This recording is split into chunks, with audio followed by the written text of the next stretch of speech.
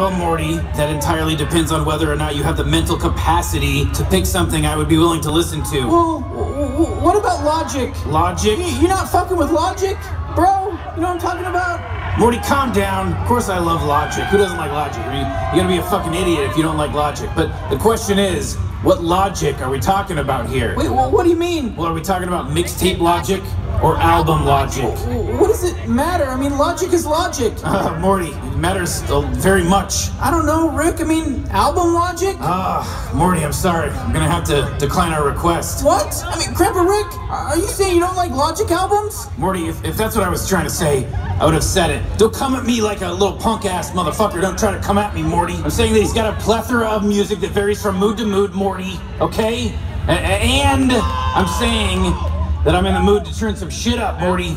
You know, I'm, I'm not in the mood for a message about how I can do whatever I want or, oh, you know, like equality and everybody and all that shit, alright? So you wanna hear some fucking about titties, throwing stacks on some ass, you know, just some good old fucking ATL style club rap, Morty. Jeez, Rick. I mean, Logic, he turns stuff up on his albums too, Rick, you know? He turns shit up. Morty, shut up. I'm simply implying, you know, I want some shit I can turn up on this ride to Klazablar planet in sector G9, okay? Right, jeez, okay. So, you know, so so meet me in the middle, Morty. You know, give, give me some of that Bobby Tarantino shit.